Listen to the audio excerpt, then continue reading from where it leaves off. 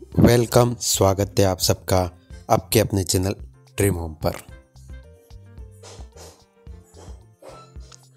अगर आप चैनल पर पहली बार विज़िट कर रहे हैं तो चैनल को ज़रूर सब्सक्राइब करके हमें सपोर्ट करें।